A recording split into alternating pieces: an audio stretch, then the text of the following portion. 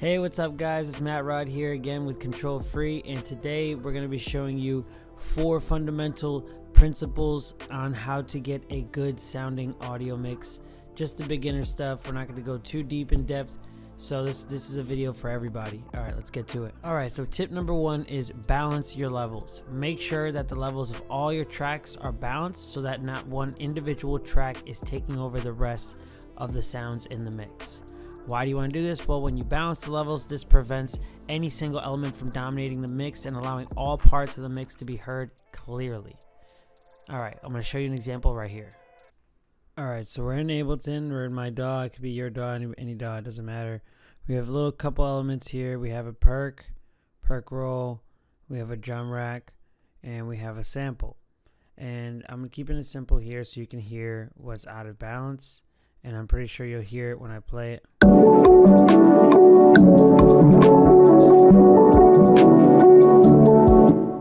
Alright, there's something clearly out of balance there. The sample's way too loud, there's too much reverb, there's too much delay, there's too much noise on it.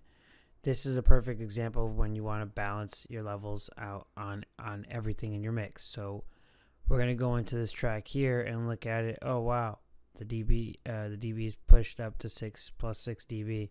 Let's turn that back down to zero. Let's look at the reverbs. All the reverb sends are all the way up. Let's turn them down.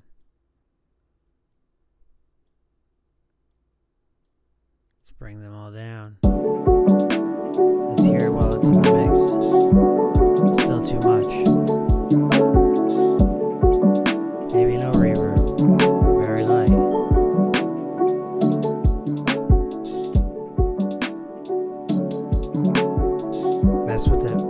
Mess with the with the gain a little bit, gain stage it a little bit, get get the gain going. And so basically here was a perfect example of now what we had before, completely out of whack loop to now something that sits a little bit more with the drums and allows the other parts and the other elements of the song to come through.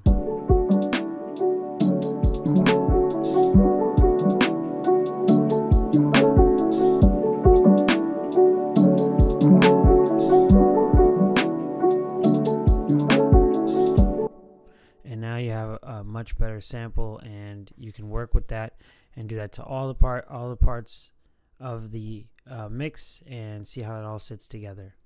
All right so tip number two is pan for clarity. Using panning to create a sense of space and separation in your mix can help a lot. Why this really matters is because panning allows you to place instruments and vo vocals in the stereo field making the mix sound wider and more spacious this helps to prevent elements from clashing in the center and making the mix sound more interesting, which is the goal. How to achieve it? Panning different elements like the guitars against the keyboards, backing vocals, the drums left to right, while keeping the most important elements lead vocals, bass, kick in the center.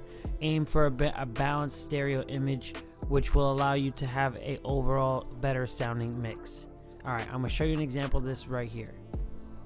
Alright, so tip number two, I'm going to show you guys how to use panning for clarity and to make a more interesting sound out of your mix.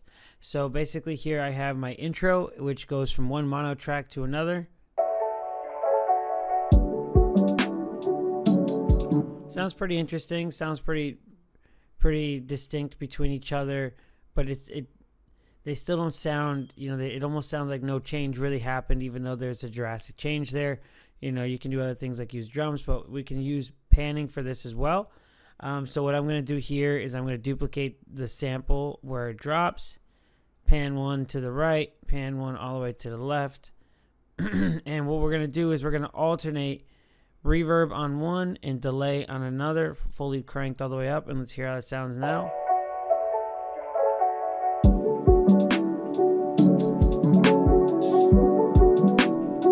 You have headphones on, you can clearly hear a more open, more more breadth of sound and much more differentiation from the beginning, which was kind of tunneled, boxed in, into an open. Now we're into the verse, we're into the beginning of the song, the main uh, a clarity into the to the main melody of the song that we're trying to mix. Um, and so there's that, and then there's one other thing you can do you can use a phaser flanger, which basically automates this for you going left and right. and or a flanger, whichever however you want to call it. I never know how how to correctly pronounce it, but it basically automates the stereo process going left and right. So let's hear what it sounds like with it on.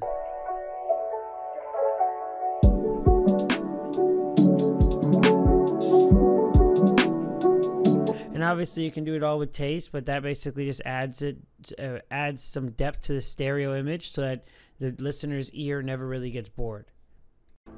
All right, tip number three is to use automation and automate for dynamics.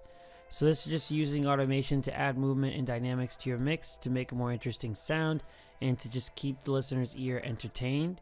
The reason why you want to do this is because automation allows you to make precise adjustments to the volume, panning, effects, and other different parameters over time, keeping the mix engaging and dynamic, and just basically making it so that the person who's listening never gets bored without overdoing it too much because you got to do everything with taste. And here's an example right here. Alright, so here I'm going to show you guys how to use automation to control the dynamics or to make the dynamics more interesting in your mix. Um, so right here I have an example of the same loops we've been using with an EQ8 on it.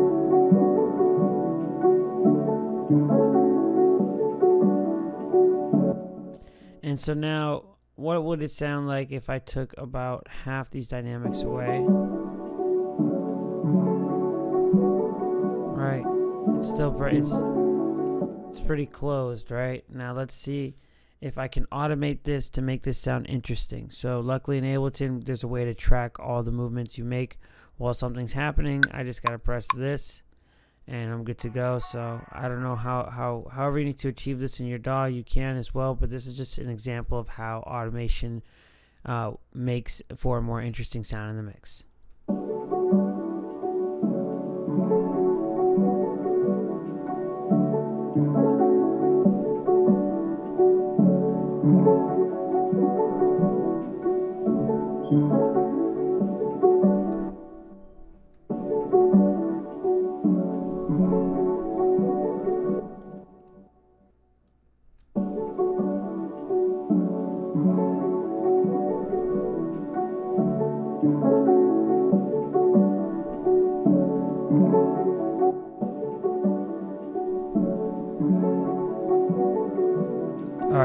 Did some editing there, and basically what you can see there is I created some automation to kind of dip out dip out a lot of the main parts of the sound, take them out, and make this slow opening, more opening, opening, more uh, just more and more just close from close to opening after it had already opened from the intro kind of creating for an even longer elongated kind of second part to the opening to an intro. Kind of probably like a long a song with a longer intro than most but here's just that's just one example of how you can use automation to create more interesting sounds all right, so tip number four is to check your mix on different systems. If you got car speakers, your studio head monitors, your studio headphones, your cell phone speaker, any speaker you can get your hands on. The reason why is because different playback systems can reveal issues in artifacts that you couldn't hear on different speakers. Maybe your cell phone speaker on pretty much all mono can catch something that your studio monitor speakers couldn't catch because they were blending them so well in the high quality or vice versa. Maybe you you couldn't you caught something in your car speakers because they're surround sound, and, that you didn't catch on your studio monitors. Um, so basically, just test it on any any speakers you got, Bluetooth, headphones, your earpods, anything you got. Test it out on multiple sources and you can find different errors in the mix. All right, so you made it to the end of the video. Thank you for making it this far. Please feel free to like, comment, and subscribe if you liked what you saw. If you want to comment something you liked or something you didn't like, feel free to leave it below. If you want to comment how your day was going, that works too. Uh, just want to thank you all for coming out. And the bonus tip is to mix at low volumes. You want to mix at low volumes to ensure that your mix sounds good at different listening levels to prevent ear fatigue. So that way you can hear different things and you know maybe you want to hear your bass super loud and then you, you already know what your melody is supposed to sound like so you want to hear your melody a little bit lower. Feel free to you know mess around with different volumes but try to start at low that way you don't give yourself ear fatigue throughout uh, mixing the entire project. Why this matters is because mixing at lower volume helps you hear the balance and clarity of your mix without the distortion that can come from high levels. It also reduces your ear fatigue, like I said before, so allowing you to make more accurate decisions over long periods of time. And basically, just gotta take care of your ears they're your money makers and until next time next time guys i appreciate you coming out feel free to like comment and subscribe. Tell me something you liked something you didn't like. It's all good. Tell me if you want to hear if you want to see a specific type of tutorial next and we'll get right to it. Thanks. Peace